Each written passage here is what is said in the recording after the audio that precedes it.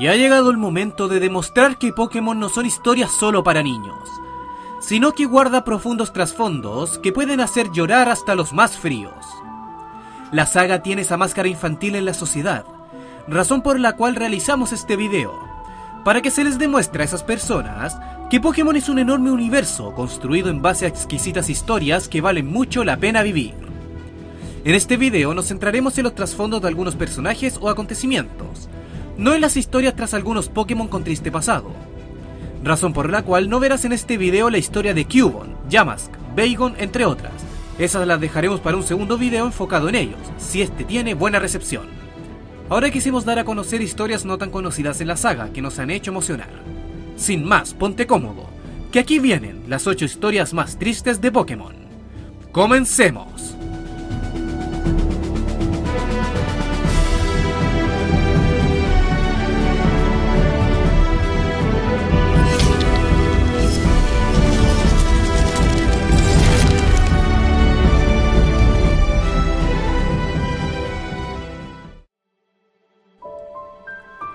Número 8. Historia de Guzma. Su historia va más allá de tan solo ser el líder del equipo rival de turno, sino que posee un triste pasado tras esa imagen de chico duro. De pequeño, Guzma intentó demostrar su fuerza a su padre, y que así él lo estimara. Para ello se entrenó en las batallas Pokémon y ganó un gran número de trofeos. Aún así, no recibe el aprecio de su padre. Por otra parte, él lo que más anhelaba era convertirse en un capitán de Alola, y así tomar las pruebas del recorrido insular a los nuevos entrenadores. Para lograrlo, competía una y otra vez, pero siempre sacaba el segundo o tercer lugar. Su padre se burlaba de él por aquello.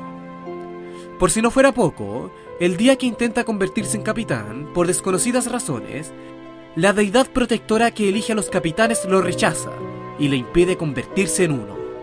Es entonces que decide huir de casa. Su padre intenta detenerlo, pero le es infructuoso. En ese rancón, forma el Team Skull y se convierte en un ser despreocupado, repleto de odio a la sociedad. Teorías que rondan esta trama dicen que Guzma era golpeado por su padre cuando era un niño. Esta idea nace tras ver que en su hogar hay palos de golf que yacen rotos, los que pudieron ser usados para agredirle. Número 7. Historia de Grovyle. En Pokémon Mundo Misterioso, Exploradores del Cielo, Tiempo y Tierra, se muestra a un Grovyle. Este Pokémon es carismático, pero de personalidad seria y fría. Grovyle es un Pokémon del futuro, que viajó al pasado junto a un ser humano para evitar la parálisis del planeta en manos de Dialga.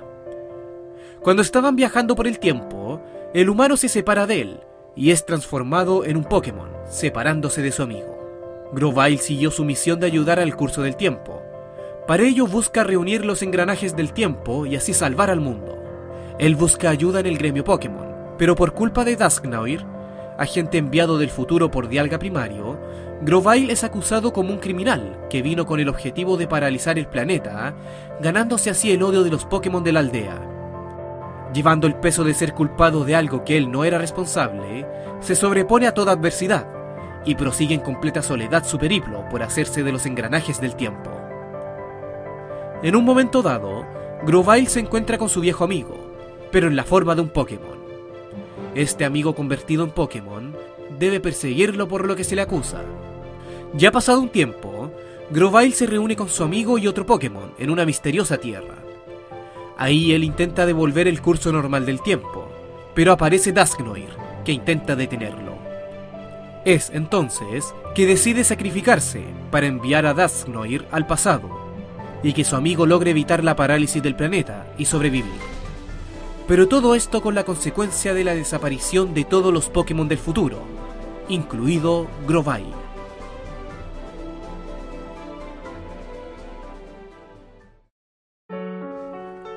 Número 6. Historia de Cinia. Cinia es una entrenadora de la región de Hoenn miembro del ancestral clan Meteoro. Ella luce siempre alegre y con mucha energía, todo el tiempo acompañada de un Wismur, que lleva por nombre Aster. No obstante, posee una pesada carga en su espalda, mantener el mundo a salvo de una catástrofe. Según antiguos escritos del clan Meteoro, ancestral tribu que salvaguarda Hoenn de eventuales desastres, cada 3.000 años ocurre un desastre que asola el mundo, ya sea natural o una guerra. En un futuro cercano, un meteorito caerá al planeta, ocasionando el vaticinado desastre. Ella parece ver la catástrofe del meteorito como algo más personal e íntimo. Su tarea sería despertar a Rayquaza, el cual debería mega evolucionar para vencer a la amenaza espacial, que es en realidad el Pokémon legendario Deoxys. Para prevenir este desastre, Cini ayuda a desencadenar la catástrofe relacionada con los Pokémon ancestrales Groudon y Kyogre. Todo esto lo realiza para detener a Deoxys ella misma. Cinia está obsesionada con esta eventual catástrofe. Se lo toma de forma íntima debido a que una importante persona para ella murió en el pasado, en nombre del clan Meteoro. Esa persona llevaba por nombre Aster. Así es, en memoria a esa fallecida persona, Cinia nombra a su Wismur como Aster. Cinia siempre parece sacar unas risas incluso en momentos tristes, como cuando recuerda a Aster bajo el firmamento en Pilar Celeste. Al final se consigue detener a Deoxys. Sin embargo, aunque ya se haya liberado del peso que cargaba, ella nunca podría recuperar a esa tan preciada persona que falleciera con ese mismo peso en su espalda. El destino de Cinia tras esta misión es completamente incierto. Número 5. Historia de la Torre Quemada. En Ciudad Iris se irguen portentosas dos torres, la Torre Latón y la Torre Ojalata. La Torre Latón antaño se alzaba gloriosa y alegraba la vida de todo aquel que la contemplara. Pero a causa de la caída de un rayo, la torre se vio envuelta en un infernal incendio. Dentro de aquella torre solían vivir tres Pokémon de identidad desconocida, los cuales al iniciarse las llamas no alcanzaron a huir y murieron calcinados. Ardió durante tres días y tres noches. Las personas observaban incrédulas lo que acontecía. Las llamas podían verse por toda la ciudad Iris en la región de Yoto. A la tercera noche un aguacero se dejó caer, apagando las llamas. Pero ya era demasiado tarde. La torre era solo ruinas. De pronto del cielo descendió una luz con el color del arco iris. Esa luz no era otra que Ho, el Pokémon legendario. Con el poder de su danza arcoíris, trajo de vuelta a la vida aquel trío de Pokémon ahora poseían un inmenso poder, siendo conocidos como Raikou, representación del rayo que golpeó la torre, Entei, símbolo del fuego que ardió en esta, y Suicune, personificación de la lluvia que apagó las llamas. Los humanos atemorizados ante tal poder respondieron con violencia y crueldad. Los Pokémon decidieron abandonar esa tierra con un gran pesar, decepcionados ante la horrible conducta de los humanos. A partir de ese entonces, la Torre Latón sería conocida como la Torre Quemada.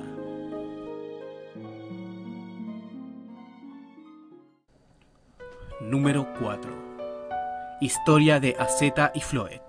Esta es una triste historia que ya contamos en nuestro video sobre las 8 historias más tristes de Nintendo. Pero no por eso lo dejaremos fuera de este top dedicado especialmente a los fans de Pokémon. Esta historia dice así. Azeta era un hombre que sentía un enorme amor hacia su Pokémon, un pequeñito Floet. Ellos vivieron hace 3.000 años, época en la que se desata una cruenta guerra, en la que debían formar parte todos los Pokémon. Es así que su amada Floet debe dejarlo y dirigirse a las llamas del campo de batalla. Un día, Azeta recibe una pequeña caja. En ella venían los restos de su inocente Pokémon. El dolor y la rabia lo invaden, por lo que se obsesiona en traerla de vuelta a la vida. Es así como construye una enorme máquina que arrasa con los Pokémon que combatían en la guerra. La vida de aquellas criaturas es absorbida para ser otorgada a Floet. Así es, la pequeña Floet vuelve a la vida, pero a costa de la vida de otros cientos de Pokémon. Su Pokémon, que ahora contaba con el don de la vida eterna, intuye algo. Se dio cuenta de que había vuelto a la vida gracias a la energía de otros Pokémon sacrificados, y a consecuencia de esto abandonó para siempre a este hombre. Al hombre le invadió una enorme tristeza. ¿Por qué justo ahora que había conseguido la vida eterna? Y así tras días de soledad, el hombre perdió todo lo que le hacía humano. El hombre se vio abocado a vagar sin rumbo por toda la eternidad.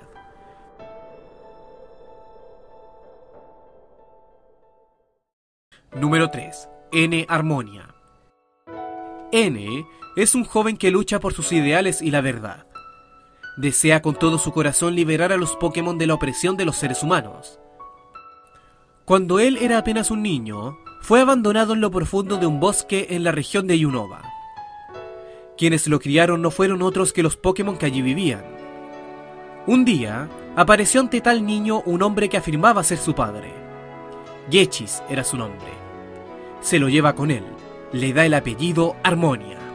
Le promete todo el saber que un rey necesita y todos los Pokémon que necesitara. Sin embargo, estos Pokémon poseían el corazón tan cerrado que él no podía entenderlos como si hacía con los que vivían libres en el bosque. Gechis lo nombra como el líder del equipo Plasma, con el supuesto propósito de separar el mundo Pokémon de los humanos para que vivan libres. N es aislado del mundo en un enorme palacio, lejos de cualquier otro niño de su edad.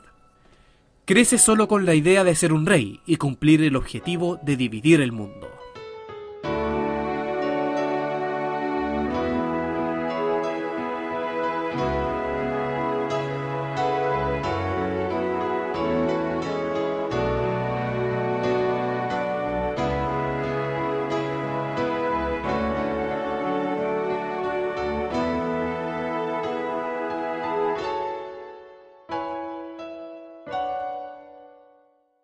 En un momento dado, Gechis se decepciona de su hijo y revela los verdaderos planes del equipo Plasma.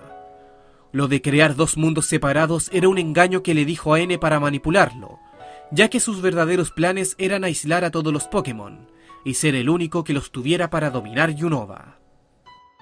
N había crecido engañado. Su verdad había sido un engaño, sus ideales se desmoronan.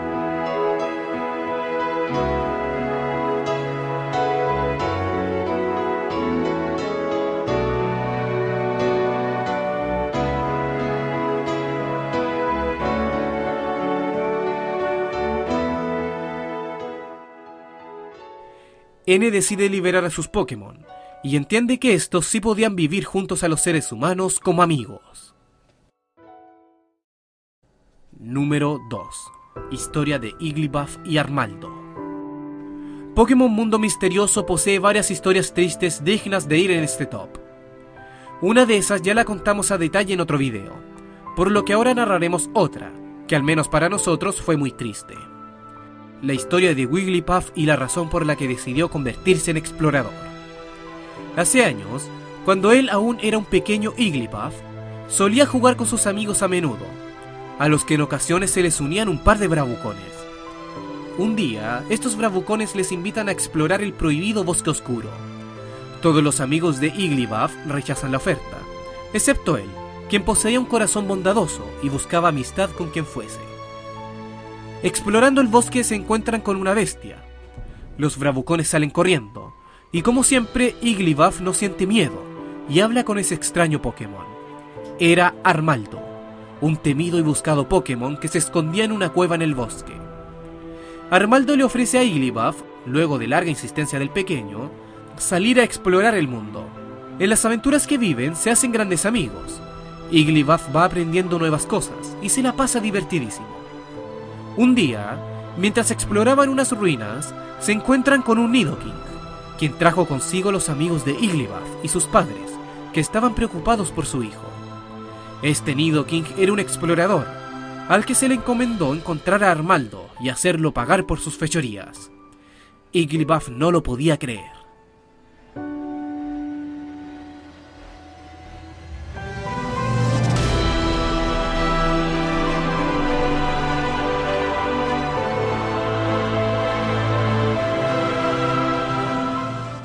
Pequeño no es escuchado y estalla de la frustración.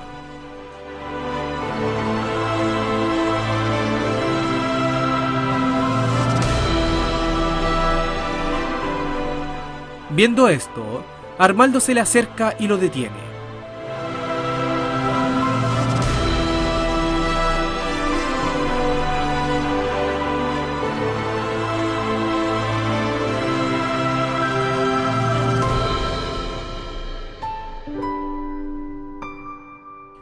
En ese momento, Armaldo le revela que era uno de los Pokémon malos y que estaba escondiéndose para que no lo atraparan.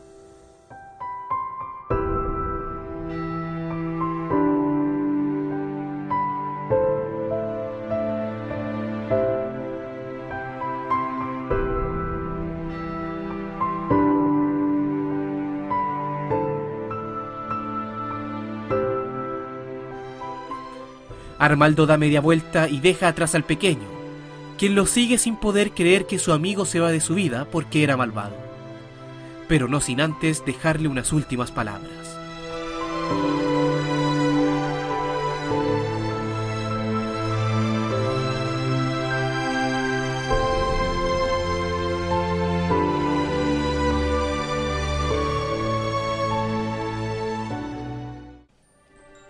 Número 1. Historia de los hermanos Gladio y Lili. El profesor Polo de Alola, padre del joven Gladio y la joven Lili, y marido de Samina, descubre una extraña fisura dimensional denominada como ultraumbral. Esto dio a luz la posible existencia de los ultraentes. Durante la investigación, Polo desaparece misteriosamente, dejando tras de sí unos apuntes sobre el Pokémon ultraente Nihilego. Junto a tales apuntes, yacía moribundo una misteriosa criatura, Cosmo. Samina, esposa de Polo, culpa a los ultraentes de la desaparición de su marido, por lo que siendo la presidenta de la Fundación Aether, ordena a sus científicos la construcción del proyecto exterminador de ultraentes. Este proyecto consiste en la creación de un Pokémon Quimera, formado por el material genético de diversos Pokémon. Se crean tres criaturas bajo el nombre en clave Código Omnia, Tristemente, todos los sujetos rechazan las pruebas y pierden completamente el control a causa de un error. Ante esto, controlan a estas quimeras mediante una pesada y cruel máscara de contención. Debido a esta macabra situación, Gladio, hijo de Samina, hurta un código Omnia, ahora conocidos bajo la nomenclatura de Código Cero. Él sentía que era una crueldad las pruebas que realizaba su obsesionada madre con tales Pokémon, por lo que decide ayudarlo. Asimismo, su hermana Lily intenta salvar a Cosmo, que era sobreexplotado para abrir los ultraumbrales. Así es como Lily y Gladio emprenden un viaje para detener a su madre. En tal aventura conocerían variados amigos, con quienes compartirían gratos momentos. Lily logra llegar junto a su amigo al origen de toda la obsesión de Samina, quien cae gravemente enferma por una neurotoxina de Nihilego, y sin poder encontrar a su desaparecido marido. Su testarudez lastima a sus hijos, quienes de pequeños ven cómo su madre cae consumida por una obsesión.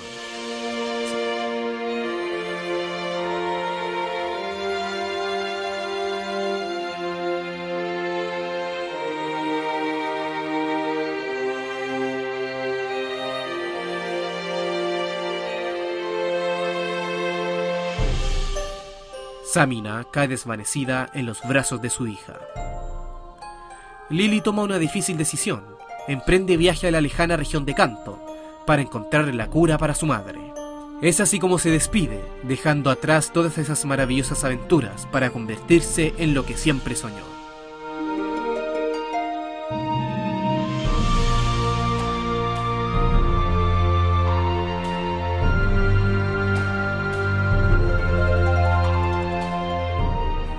Por su parte, Gladio toma la decisión de obsequiarle un código cero a su amigo, para que este Pokémon pudiese ser liberado de esa máscara que lo aprisiona.